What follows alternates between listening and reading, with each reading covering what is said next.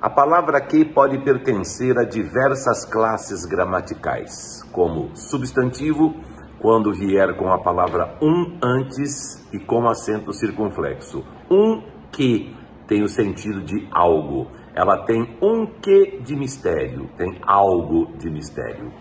Quando intensificar um adjetivo, é um advérbio. Por exemplo, que linda ela é, o que intensifica o linda. E quando intensificar um substantivo, será pronome indefinido, como por exemplo, que bagunça é essa?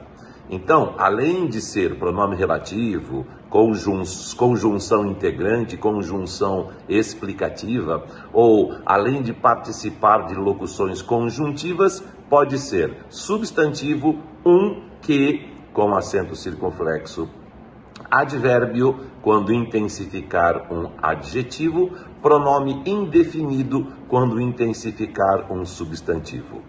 E não é só isso, também pode ser uma interjeição, como que, com ponto de exclamação e acento circunflexo. Sou o professor Dilson Catarino, aqui é Gramática da Língua Portuguesa, pode confiar.